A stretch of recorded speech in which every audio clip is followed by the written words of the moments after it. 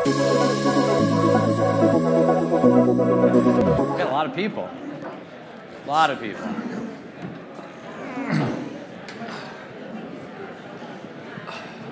Hi. See if I can get everyone's attention. These mics are on, I guess. That's good. Uh, let me just really quickly, uh, thank you for joining us. Uh, let me just introduce the panel real quick. Uh, we're going to start at the far end. Allison Stern, who's CMO and co-founder of Tubular Labs. To her right is David Wong, who's SVP Digital Product Management or Development, sorry, at Nielsen. To his right is Eric Korsh, who's president of Mashable Studios. To his right is Peter Gorenstein, who's chief content officer of Cheddar TV. And to his right, Borja Perez, who's SVP Digital and Social Media at NBC Universal Telemundo Enterprises, wins for longest title on the panel by a wide margin. Um, the topic we're talking about today, obviously, is models for live video and how you all are going to make money in live video because it's a lot of fun to create live video, but it's a lot more fun to make money when you make live video. But I thought maybe as a great way to start, we've got about 30 minutes for this panel. I thought it would be great since we have a bunch of people who are creating and analyzing live video uh, across multiple platforms. What is working? Like when you look at live video right now, what are the obvious things or ways that live video, from a content standpoint, what is working that you really see? Whoever wants to start. Allison, you analyze a ton of data. What are you seeing on the data side? Yeah, so Tubular is a video intelligence platform. Uh, we analyze 2 billion videos, including Facebook Live. So I kind of channel all that data through me to, to uh, give you a few insights from it. Um, one thing that's really interesting is that Facebook Live is extremely engaging. So we actually see Facebook Live videos are uh, twice as engaging as regular Facebook videos. And I think as What's the definition of engaging when you say that? Likes, comments, shares, any sort of social action taken on the videos. And so I think as we um, as we start to monetize video, people often use engagement as a proxy for that. If people are engaging, then you know, they're more likely to buy products. It's more successful for brand and entertainment. And Facebook Live, we are, we are seeing that. Um, also, interestingly, you know, the Chewbacca mom is the number one Facebook Live video of all time, about 125 million views. Um, also seeing new, news, music, um, celebrities really popular in Facebook Live right now. We have two news organizations, effectively, or two news um, services that shoot lots of video. Maybe from a Cheddar and Mashable standpoint, what are you seeing on the, the live video side that works? And do you notice when you do different things what works or doesn't work so well? I'll, I'll jump in. So it's still, for us, very, very uh, nascent learning phases. The two things that Allison mentioned, the pop for us news, climbing the Trump Tower, celebrities, Jon Hamm in the office, those things do well. Occasionally we have some hits with something that might have some anticipation built in, a la the BuzzFeed watermelon, whether it's a stunt or you know something more factual. Those things are doing well, but in general, it's super experimental. So we're sort of really light on the data side for now. Peter? Uh, for us, so we, we Facebook Live is, uh, has been our main platform since the beginning, and, and uh, we're on Periscope as well, and we'll soon be on Twitter. So Facebook Live so far has been our, our main uh, focus and, and metrics that we get. Uh, we are, you know, we are primarily news focused, but anytime you add celebrity to that, that's interesting. We're, we take it in a much more granular uh, focus, like in terms of what topics do well, uh, politics in a way does well for us. Like uh, we had Gary Johnson on this morning and talking about the libertarian cause that does well. Gaming does really well for us. Uh, weed topics do really well for us. Uh, products and and um, just regulation that that has done amazingly well for us. On top of you know our main focus, which I is technology. we into this conversation. So it does well. but, uh, whatever from an NBC Universal Telemundo standpoint? For us, we've been experimenting probably for the last four years. You know, as soon as you know the new platform arrives, you know, I remember back when it was the Meerkats, the you know the the Periscopes. We were doing a lot of uh, red carpet coverage during you know billboards, uh, Latin billboards, or or the Latin AMAs. Is now we have evolved more into the Facebook Live strategy, and and the reason why we are doing it is and is, is going to the topic is we try to bundle these products with other digital products in order to monetize. Um, uh, because uh, as a standalone it's still difficult. The KPIs are not there. So we try to bundle that with other things. But uh, for us, the way we are seeing it is more like now we have the technology. We had to create like a real programming strategy, making sure that it makes sense. You know, we are not gonna do a novella live because it doesn't make sense. Yep. But probably our news uh, organization needs to create an entire uh, programming strategy to, to, to see how we are gonna be bringing those news to the Hispanic consumer. That, by the way, the Hispanic consumer, it happens to be in the general market, so it's a very demanding uh, consumer that is expecting us to be there. And when you think about people tuning into live content, you know, Allison made a comment that it was twice as engaging as, as on-demand content, but yet we live in this world where increasingly we think about, you know, we live in a Netflix world where you watch content whenever you feel like it. You don't actually tune in to watch Modern Family live on Wednesday nights. You tune in whenever you want to watch Modern Family. How do you look at the, we're in an on-demand world, but yet everyone on this panel and this whole event is about live? Is there, am I missing something? Well, from our point of view, you know, we have uh, we we are moving to eight hours of live programming every day, uh, starting in the very near future. And so, as we do that, and as we want to get on as many OTT platforms as possible, we look for big interviews or big moments for a, a jump. But we're also okay being the new ambient background screen that you have in your office or in your home if you want to have news on and just be in the background and not being your main focus. We're fine with that. You're okay being kind of a radio-like experience? Yeah. I, I think it's something that's lacking, actually. Do you, how do you think it's lacking if I can leave CNN on in my office all day? Well, in terms of our topic category, I think. And it's also, you know, our approach is different. We, we're, our colors are light blue and pink, and, um, you know, our whole approach from an aesthetic standpoint is, is a little bit different, and we want it to be kind of a, a better, more visual wallpaper. I mean, to jump in here a little bit, I know the original question you had was around um, what about this on-demand world, how's it balance out? And it's interesting because, so at, at Nielsen, we've been rolling out new measurement systems um, this year and actually in the last, last little while to focus on measuring all the on-demand. Some new stuff yesterday, All the new stuff yesterday, yeah. Um, just to be timely. yeah, to be for this timely. panel. Um, out of home measurement, things like that. And you know, it's it's funny because live, a lot of times people think, okay, live video is dying, but in reality, what you're actually seeing is that what is the what you're seeing the the video and the content which is actually most relevant to be measured.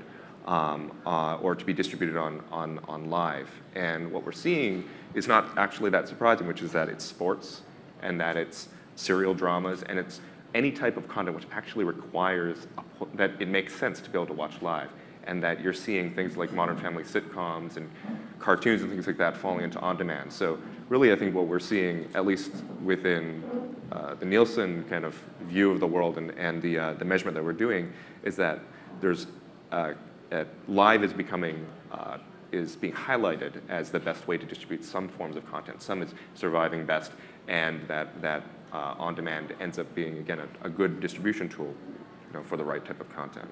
One, one reality about live today, though, is it really is on demand as well. So take Chewbacca Mom, which has 150 million views. On I did not see it live. Right. So on day one, it had 25 million views, which is still um, very good. But you know, the major, the, the the massive majority of views came after the fact. So I think one thing powerful about live is you run it live, and then it's there as content on demand after the fact as well. And um, I think that in terms of content But that do you think it mattered that it was live at all? Like if it was never live and it had just gone up and it was a funny video and it caught fire, like does it matter that it's live? I guess is, is, a, is a kind of a fundamental question. Right. So I think, you know, it splits into two parts. One is events that are currently viewed live, which will now migrate onto social platforms. So take, for example, the debate. You know, a lot of people, the only way they engaged with the presidential debates was through Facebook Live or Twitter Live or, or any of these live platforms. And so things that people are used to watching live, Olympics, sports, reality TV, debates, all of that, um, you know, I think will start to move online. But then you have a second category of content, which is, um, you know, sort of creating tent poles. Like BuzzFeed has done a lot of work around um, food art. So a lot of videos around like making a, uh, a huge mural out of Skittles or chocolate or like watching a cookie bake.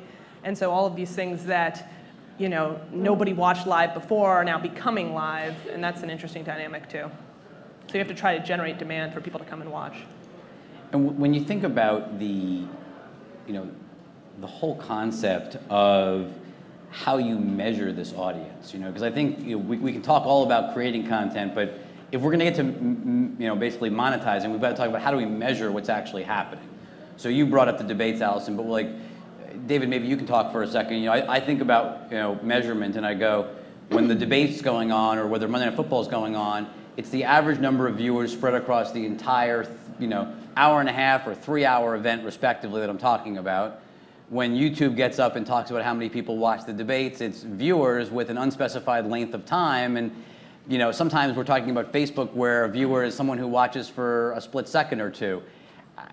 Do we need to get some type of commonality across what's a view and what's engagement in order to monetize? Like, so you, that's that's a, a, a, huge huge question that you've just asked, but I'll, I'll, I'll focus on a few things. You have like is, two minutes to I know I have like two nail minutes. it down. So the first thing is that live. The good thing about live is that uh, live viewing is actually inherently easier to measure because it's just an event that's happening. It has a very defined time frame. It happens like the debate. It starts at 9:30. It continues on until 11. You can measure everything that's happening within that time as opposed to on demand, which could go on forever, right? You can keep on seeing views for months and months and months. Um, a, a, few thoughts. The first is that views are not a great measure for live. Um, and that, that I'll just put that out there because views are inherently a, a on-demand type measure. It's did you go and request something and then did it come to you? Whereas live, you're talking about are you tuning into something which is happening live? And so you need to be able to understand um, how many people are watching. Frankly, at every second and every minute of a piece of particular live, live content. You know, in, in TV, the reason why people average across is because it's convenient. Because uh, if you measure every minute and you average it, they actually, you know, you take a look at it, it doesn't vary too much. People tune in and tune out, but, you know, it's on average about, what, you know, whatever million number of people. I think what we're seeing for digital is that there's a lot more fluctuation, and so that's demanding um, I'm having a bad day. Bad day.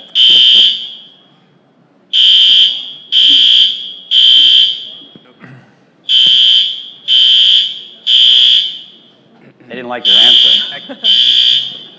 they like views. They like views. They, they like views. Gary Vaynerchuk loves views. There we go. So if views are bad, what is what's the right way right. to measure it? So, I, so not averaging audiences, but be able to show what the the uh, the uh, the average minute audience or even the average you know instantaneous audience is ultimately where we need to go.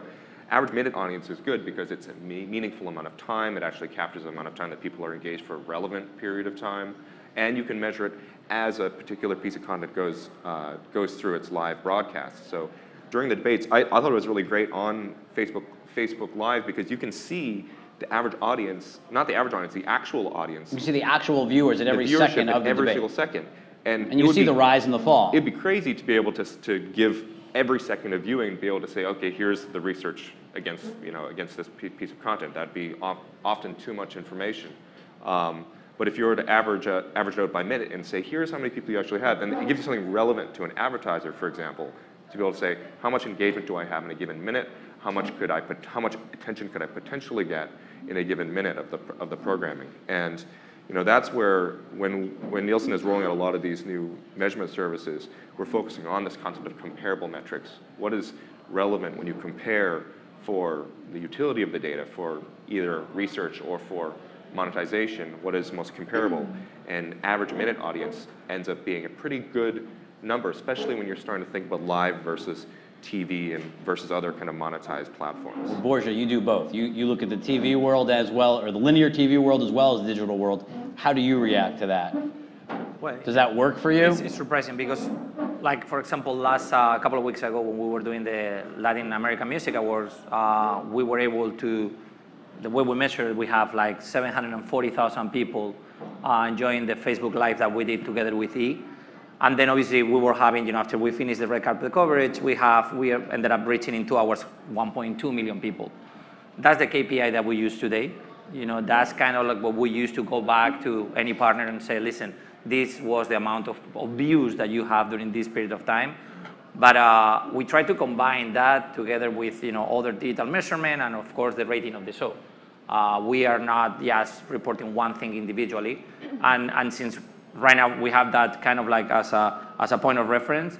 When we will do uh, now in November the iHeart Music Festival Latina, we will try to replicate the same thing, and we will see if that red carpet also reaches a million views or a million two views.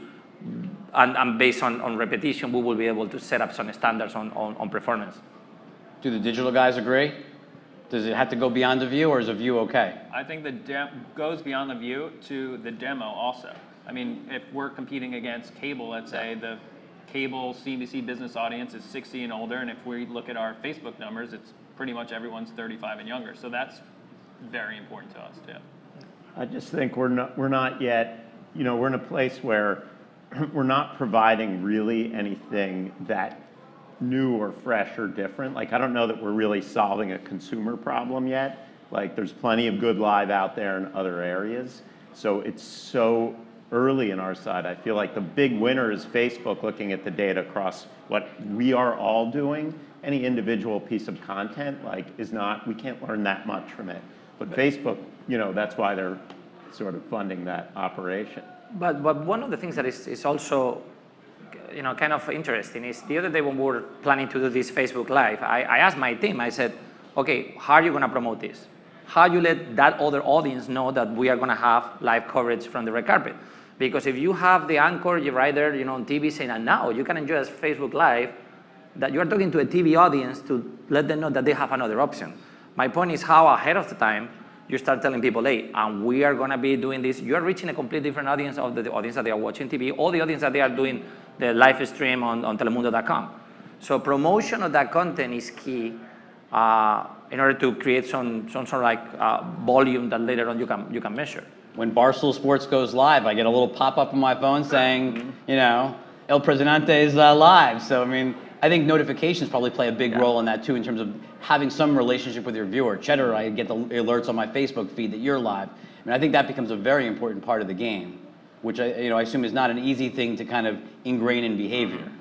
Well, it has to, because if you, if you use the platform, Facebook specifically, to just tell people about a tune in tomorrow or a week later, you're going to kill your edge rank with basically messages that are not useful. So you're saying if people don't actually tune in, so like if you push out messages, you don't actually get a view, In a way, it's you- going to actually penalize you in the future. Yeah, unless And so you're- that's the big risk. And so you got to make sure that if you're that if you send out a message that it's driving a quality tune in that someone's actually going to hit the button on. Yeah, it's not just about shouting from the rooftop. That'll actually have a negative impact. And so when you think about monetization, you know, I, I spend a lot of time thinking about the traditional TV ad world, and I look at how TV has moved online. Obviously, we've all had the TV everywhere experience of logging in with your Time Warner or Comcast password and getting kind of a, a long series of unskippable 30-second spots that are very repetitive. Like, as you all think about live video, and I realize that you know we're streaming here on a Facebook feed that isn't actually being monetized beyond sponsorship, but like, should there be like, what should monetization look like? I mean, should it be 30-second spots the way we're all used to, or should there be something new and different? Whoever wants to go first. Allison should- smiling. You start. It should definitely be new and different. I mean, I'm the I'm the uh, analytics person on the panel, not the content person. But as a consumer myself, you know, I think every time there's a new platform that that develops, whether that was um, moving from newspapers to radios or radios to TV or TV to mobile or whatever it is, there's always a new form of content that that takes hold. And I think that you're doing a disservice to your viewers and to advertisers and to the ecosystem if you're not trying to um, figure out new ways to, to monetize. So, um, you know, we've seen a real rise in branded content, sponsored videos, whether that be um, shout outs on air or whether that be um, using Facebook's kind of handshake tool to, to um, partner with a brand and, and sponsor something. But I think it's exciting to experiment and see what's going to work. Peter, you have some Soylent for us? yeah, so what we've done, that sponsorship is over. We don't. Uh, Oh, sorry. And, and we, What's the never, new we one? never What's the ate bars on camera too, because I know there's been a recall. Um, but so what we've done is focused on making that ad a live part, a live experience. So it's an integration within the show with brands we think fit our our editorial. And can that scale? Why not? I mean, as long as we have the inventory. Can you scale it eight hours? I mean, you said you're going to be eight hours a day. Can you Yeah. do eight hours a day of sponsored content? Well, it's not eight hours. No, a but like I mean, supported by sponsorship. Yeah, I think so. I mean, for now, I think that the struggle has been not enough inventory. So uh, I'm pretty bullish on our ability to add Eric, more what do you think? sponsors in an organic way. I, I mean, we, I, we believe in that same idea of doing the live uh, integration. Doesn't feel that scalable yet uh, to me. Because my, my fear is when I, you know, I, I was watching Mark Zuckerberg, you know, before the, I think it was before the second debate. He's sitting in his backyard. He's doing kind of a, a Facebook Live talk with his big green egg in the background, smoking meat and having his friends come over for a beer. And I'm just thinking, like, could you imagine if in the middle of like while he's talking, it goes pause. We'll be right back with you know three minutes of messages from our sponsors, uh, you know, or you know 30 second ads, like, you know. the That's whole- like the old Texaco, you know, pan over and there's the people on stage making the ad live. Well, no, no, I'm forgetting the ad line. Like, for, what if it was just mid-roll? Like, does mid-roll Mm-hmm. work? Like, can you actually do mid-roll, or do you actually have to do an integration I guess where it- it's a product he likes? Like, Depends on the, the content. I mean, because we're not talking about an environment that's any different from the NFL. I'm watching a game. It's sponsored by Toyota. The game has a pause. Will I stick with it or not? but the game has pauses built in. Mm-hmm. The car chase that someone's filming on Facebook Live, or the you, you mentioned Trump Tower. Mm-hmm. So would it have worked if you had cut to break and said, well, "Look, we're going to take two minutes of commercials to spend to, to make money on the Trump thing"? Would people have tuned into someone else's feed? I guess is the risk, right? Yeah, Is that you- right, How, they how do you over. keep people engaged? To Allison's point, but also try to monetize. So that's why I think we're not at monetization really yet. It's still a gimmick for us in any case. It's, yes, we can add this element. Nobody's coming just purely for Facebook Live. So I think we're saying, what's that content that people will stick with? And then we're going to figure out what that sort of environment has to be for us to monetize it. That's why I think we're so early. It's not about where should I stick that brand inside this event yet. So you do the um, the music awards that you were talking about. You have a Facebook Live. How many people watched, or how many viewers, or how, how do you look at it? like more or less like a million people. But you didn't make any money doing it. We did. Because you sold the sponsorship? Yeah, so we did branded content pretty much. You know, uh, right now our approach to this is is uh, branded content, um, and then also kind of like embed the message of the of our partners or advertisers within the content. You know, try to be trying to be organic. These platforms have been made for a very young audience that obviously they push back on advertising. So I think that at these stages it's very risky to start embedding, you know, clear commercial message because otherwise you are at the risk of losing that audience. But all of you are using Facebook, and Facebook's no, making no money off of all of you today. You're making money with your branded content, but all of this massive amounts of viewership is happening for free. You know, Facebook's not charging you, and they're not making any money off of the sponsorships you're selling. For now. Do you think that's sustainable? But they're making money off of ads. I mean, they need. They But need not view- ads on your content. No, but they need viewers to be on Facebook Sure. and engaging with content. So I think you know it's it's monetized just like their typical platform is. I mean, I think that, um, in fact, actually, the most successful live videos are um, 18 minutes or longer. So it's Why? like very. Why do you think that is? uh, you know, I think people. Um, well, one thing is is that you, you actually need to have your your Facebook Live going for a long time to give people time to land, right? So when you get that push notification for Barstool, um, you know, the longer that the live stream is going, the more likely people are going to have time to actually cross over and watch it. Um, but you know, I think people start watching and they get sucked in and they get connected to the personalities who are talking. So um, you do see, you know, time spent. I agree with sort of the metrics around time spent and time watched, and I think that, um, you know, Facebook Live is is and live video in general, you know, pushes that that those numbers up. But also, you know, I think the intensity of the content. You know, if you don't deliver good content that is intense enough, why? What's the purpose of being 18 minutes if you are not telling anything? You know, it's either go, you go five minutes with a lot of intensity, you can go half an hour. The soccer game, it could be a very, you know, boring game or a very intense soccer game. Well, did you see a lot of viewership of what you did last week after the fact, meaning non-live? On demand afterwards, yeah. Yeah. Yeah, they were More like, than what you had live? Uh, not in this case, you know. But again, I'm, I'm, I'm still, you know, it's how do you go back and promote who were we, you know, we were interviewing Pitbull, what was the interview with Pitbull on, on the red carpet, you know, it's, it's, it's, it's an entire thing. You create the, sometimes we forget, you know, these platforms, they allowed you to do something, but we had to examine the content. We had to really deliver and say, okay, that audience that is going to be with me live, what are they expecting? if it's a younger audience, to whom I'm gonna be interviewing on the red carpet that is appealing to that younger demographic? I might be interviewing somebody that is old and is not appealing to that demo. So it's about content uh, strategy first, and then making sure that you put it on the platform. And sometimes right now we are all in the hype like, oh, Facebook Live, and everybody is putting Facebook Live for whatever thing. Well, it was like Meerkat and, and Periscope. When they first launched, everyone was following everyone, and then you realize pretty quickly that most people are pretty bad at creating live video content. Just like the early days of YouTube, right? There was a lot of bad content. So the early days of Vine, most people are not that creative in six seconds. I'm seeing kind of like going back to the, the days of digital distribution where you just put in, you know, content from TV and distribute to digital channels. No. This platform has its intricacies and you have to work with that platform. You have to really create the, the if it's scripted, it's scripted, but you have to create that, that justification for people to engage. Otherwise, if you're gonna do live red carpet coverage as you do in TV and put it in a Facebook Live, it's not gonna work because the audience is expecting something different.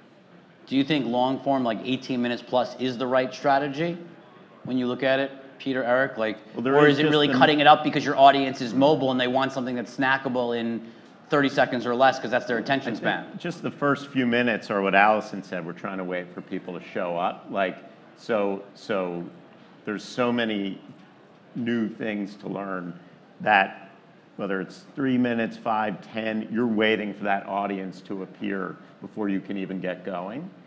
And if you're gonna turn on that machine and invest in those resources, you need to get some time out of it. Like, there's a bunch of outside factors that aren't even focused on what am I making for this audience. So we have not learned enough about that yet. When you think about devices, how much of this is being driven off of mobile or tablet? David, you want to start? Well, Then I maybe mean- Allison. I mean, for, obviously for digital, digital live video, I mean, it sort of has to be on uh, some kind of digital device, right? So, of course, it's mobile and computer, which is driving it. Um, it's funny, I'm listening to this conversation, of course, as a, as a data and a measurement guy, can't comment too much about the, uh, about the creative or the, uh, or the ad format, but one, a couple of things which, which are really important about this is that, one, this is addressing um, a segment of the population which doesn't watch live TV as much anymore. So it is, you know, to the to the, the point that you made around, we don't we're not offering something new yet. There is a, a gap which is filled by digital live video, which is not filled by other forms of live video, which is that it it can attract that younger audience, an audience that doesn't have or doesn't watch as much television anymore. So that's a new audience and a new, Or doesn't frankly, have a television. an, an, an important product, you know, to sell to an advertiser. Um, and it's also an audience that might not watch as much, so it's actually incremental audience for, for advertising. You know, it's, it's also funny because we're talking about many of the same challenges that a TV network would face when trying to address live content. If you put on news or if you put on a sports event, how do you create the content so that people don't tune away and how do they come back? How do you make sure that they know that it's scheduled at 8 p.m. Eastern instead of at, you know, 7 p.m. Eastern, right? Um, I remember I tried to tune into the Olympics and I was like, crap, it's not even, it's not playing yet. When, when is this thing starting, right? And they, you know, that, that was a challenge which had to, uh, you have to, to resolve. So, um, I think it's one of the questions the NFL is facing. Are there too many commercials during the NFL right now? right? You know, how do you make it so that it's not as interruptive, but at the same time, you know, making the content um, relevant so you want to come back, right? It's all about trying to come back, and you know, to that, you know, to that end, I, I actually, I actually agree with this point that longer form content is better for monetization because if something's short and you interrupt it, people just tune away, right? Whereas if you can build a, if you can build an attachment to an experience, people will retain, you know, their attention even through a break. People will, you know, go away for that minute, even two minutes, and actually come back and, and continue to watch, right? As long as they feel like they're not missing out. YouTube's rolling live. Kind of announced something at you know earlier in the year, and I don't sense we've seen all that much. How does YouTube play into what you're thinking about doing live, or does it not at all yet? We, we experiment with that actually a couple of weeks ago. We were in Rome. Uh, we were uh, we come the kind of like the partner of uh, the Foundation for the Pope, and there was a game for peace, kind of Maradona playing against Ronaldinho and friends, and and we decided to go live on Telemundo.com, Facebook Live, YouTube Live, again experimenting to see what was the traction. Um, we didn't have the, the, the, the audience levels that we expected, but also it was experimental. So we didn't promote, I believe we didn't promote it properly. Uh, but the, you know, uh, for us, we will be like comparing what's uh, YouTube Live versus Facebook Live, what's the traction, and what, what are the, the, the, the, the product that you can use in one or the other. Uh, it's new. YouTube Live has been far less successful for us than uh, Facebook Live and Periscope. And do you have any sense of why? I, I, I don't, I'm not exactly There's sure. obviously I feel like huge there's audience less YouTube. promotion, yes, but there's less uh, focus, I think, right now for their company to, to, to drive you there. Um, so it's been sort of a, an afterthought because in the beginning we tried and it just, it, it really never took off. And Twitter for live? Well, we announced a big deal on Twitter. We're, we're all in on Twitter. What about you, Eric? Uh, We're working with them on something coming up, and we'll see. I, I think partly these are uh, how, how people use the platforms or are used to using them.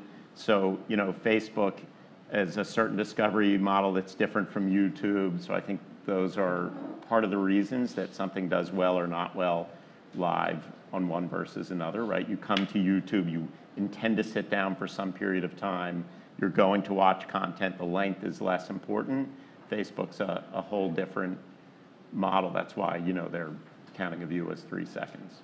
And Facebook announced earlier in the year that they were going to kind of create kind of this dedicated video experience where there would be kind of a whole world of video and a video tab, and really hasn't broadly rolled it out anywhere in the world other than I think Thailand or something. Um, do you think it's a good idea to have a dedicated video world, or do you actually think you do better off within the legacy newsfeed and you don't want to be part of a dedicated video world as a content creator? Does it matter to any of you? I, I like that button. yeah, if make it easier for the audience to find us, sure. What about you? We, we are right now, it, again, the conversation the other day with our folks at the morning show in, uh, in Telemundo, Nuevo Dia. It's like, how, how should we do live? It's like, uh, well, in the moment that you are doing live in the afternoon, you are no longer a morning show. So what are you going to offer? How, why, what is it kind of, are you going to give more entertainment news? So then you're jeopardizing other properties that we have through, through it's, we are trying to come up with an overall strategy on live for all shows, but we have to look first at who do we want to reach. Are we trying to do this to reach audiences that we don't reach through legacy platforms? If so, how do we have to live? How, how we have to do that? Uh, and it goes back to you know how, what's our presence in platforms like Snapchat when we are targeting a younger demo. Uh, what are they expecting from a brand like us? You know, what is what is a 13-year-old thinking about Telemundo? Is is that they're thinking about is the the platform? You know, is that content that my grandmother used to, or or should we present ourselves as okay, we are the number one ent- uh, entertainment uh, content provider in Spanish, and if if so, how we have to create that brand for that that new audience?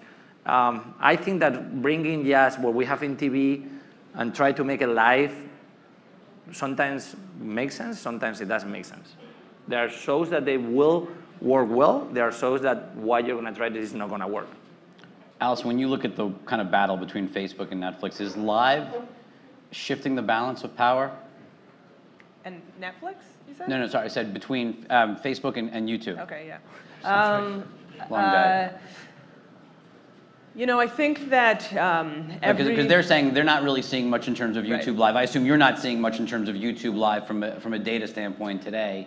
Has it actually started to move the, the ship broadly because there's so much live content and so much engagement, as you said on Facebook? Or is it not meaningful enough to shift? So I, I, I truly believe that each platform is its own special flower. I mean, I, I think that everybody, every platform has an advantage.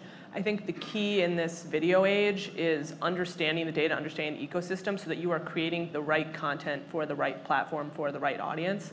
And so if you are um, you know, creating how-to style videos and uploading them to Facebook, I mean, I mean, the community really is on YouTube for that. Um, you know, if you are um, uploading food videos but only to YouTube, you know, that might be a mistake because there's a huge food community on, on Facebook. And so it's really important to understand the data and understand these different communities.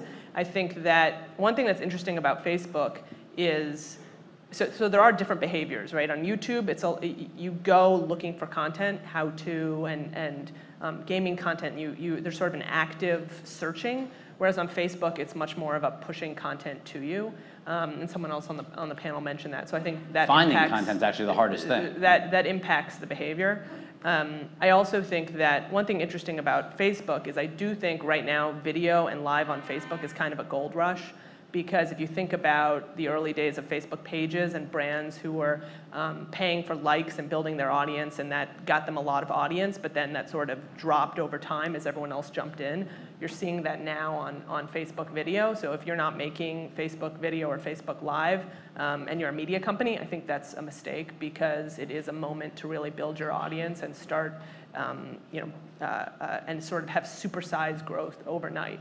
That said, online video as a pie is growing, so I, it's not taking away from YouTube. I think YouTube has an amazing um, space in the ecosystem and will continue, and, and everybody does, but there are different ways to play different platforms. You know, we've talked a little bit about know, Facebook, a little bit about Twitter, and obviously YouTube. The platform we haven't talked at all about is Snapchat, uh, which is, you know, given the demos and the fact that it's mobile first, and we probably either have ourselves, our friends, or our kids that are on it incessantly. Do you think Snapchat's going to play a role in live video? Can they resist this wave? Well, in a, way, it does. Um, you know, it's it's started really only live. That was the only way you could upload anything. So their legacy and training of people using it was that. Um, but not in a broadcast fashion. No, not in a broadcast. So even but maybe, maybe that distinction is actually not material. Right. Like maybe so, that, that's my mistake. Actually, there's there's one to one live video. There's one to few. There's one to many. Like there's all those those different variations. I mean, you've got a Snapchat Discover channel. Yeah, and it is awesome. Like Snapchat Wait, why do you say that? Why does your, your whole just face the scale, just lit up? The scale of it, the and um, the monetization of it, I presume. well, monetization, the scale, but the repeat visit. Like when we talk about building an audience, right? Like Facebook, it's not whether we're building it; it's whether the spigot is turned on or off, right? We have built it. Uh, Snapchat is, you know, a growing repeat. They come back every day. Like that is just a freight train. So should so should Facebook Video tab have a magazine-like experience where there's where they're picking winners. I mean, because obviously Snapchat picked you as a winner. Hopefully they'll pick Peter as a winner soon and get Cheddar as a Discover channel, or if they wanted one. But like, should, should Facebook be picking winners and, and defining what we watch, or should they stay algorithm-based the way Google has with YouTube, where whatever you're interested in is what surfaces? It feels like they need to stay true to the way people use Facebook, less than them dictating how do I set up my tabs to get people to engage. So I, I feel like Snapchat, you know, whether it was accidental or not, has figured out a way to present content in a way that people like to pick and choose what they're going to consume. And Facebook, I, I think by adding, say, a pure video environment, that doesn't mean people are going to care about that.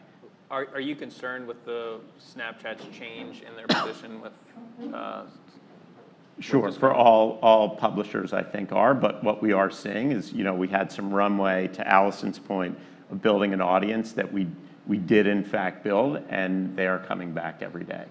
So, Yeah, I don't sense it's actually had a major impact on, on usage, despite being, I mean, it's really early. It's only Right. Right. Well, from a content creator uh, point, I don't think it matters, but your sales team is probably concerned. Uh, yeah, well, they're concerned, you know, for If a traffic few goes different down. things. Right, well, in the Recode article about, you know, Snapchat really trying to own that. Right. Completely. well, do you build a direct business for video monetization? I mean, it's actually the great comment that we probably should get to in the last couple of minutes here is all of you right now are distributing live video over other people's platforms rather than your own. Should you be developing your own destinations for live video where you don't have to worry about somebody saying, well, this is how you monetize or this is how you don't monetize or hey, we're replacing you with somebody else. Like how how important is having your own destination for live video? I think you know there is a codependency between the content and the platform. And you know we have to stay uh, clear on what we do best. We are we are a content producer. We are the second largest content producer in the world in Spanish language. That's what we do best. And and I don't think that we will be good at building platforms. So our job is to continue to develop the platform, to make sure to develop the content, to make sure that that content talks to uh, this audience, and then pick the platform because platforms are going to come and go, you know. And, and you know, again, I, I, we did Meerkat, then we did Periscope, and now we do Facebook Live, and we will continue to do whatever it happens two years from now.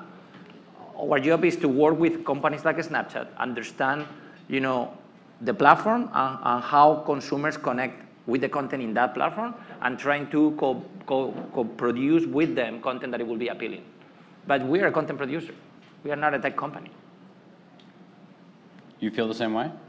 Well, we have, we will soon have uh, just a linear feed on, on our uh, app and cheddar.com and, and all of our TV. And is that what OS. you want to be the primary? Well, I don't, th- no, it won't be the primary, but we want it just to be a uniform experience. When you think of cheddar, you think of a linear feed and that's it. You're going to have to measure a lot more, David, soon, and so are you, Allison. More destinations. Well, I mean, ultimately, I think it's from a measurement perspective, it's it's a challenge, but it's a good thing because fragmentation ultimately gives consumers more choice, and then it means that you can make the best choice between which distribution platform you have. And so from a measurement perspective, like we are just trying to make sure that we cover every single platform. We can provide the metrics so we can see the differing dynamics. I mean, I love the idea of the, the, the concept that everyone sits on special flower because you can then see what it does, right? Does having daily repeated re, like return through Snapchat, does that do better than an on-demand flow through Facebook or YouTube, things like that. And that's ultimately what, what Nielsen and I'm sure Tubular, we're all trying to do with metrics. And Someone cut down the vine flower. The, the more complicated it gets, the better it is for the measurement. um, yeah, like four, four years ago, when Tubular started, it was really only YouTube as a major, major video player. I mean, it's pretty wild in the last four years.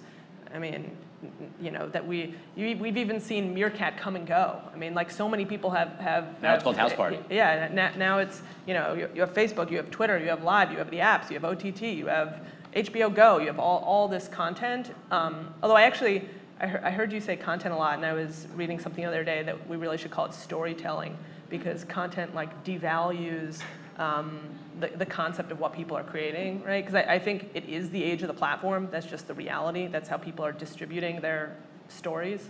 And so um, that does put, put the balance a little bit out of whack in terms of um, the platforms having a lot of leverage in terms of monetization. Um, but at the same time, the platforms are very reliant on the, on the content because that's why people are there to see amazing stories and to, to engage with it. Thank you all. We're out of time. Thank you.